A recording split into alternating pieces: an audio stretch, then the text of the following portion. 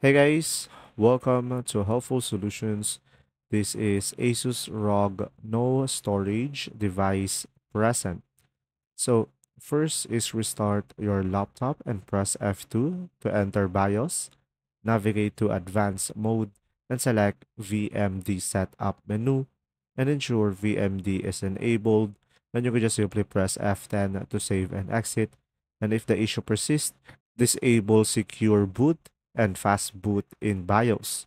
Another option is just simply power off the laptop and disconnect it from any power source and open the back panel and carefully reseat the SSD and HDD if available and ensure it's securely connected and properly aligned.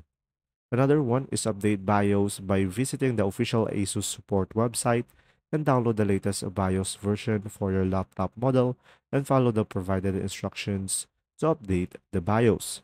Now guys, if the storage device is still not detected, consider testing it in another compatible system to rule out a hardware issue.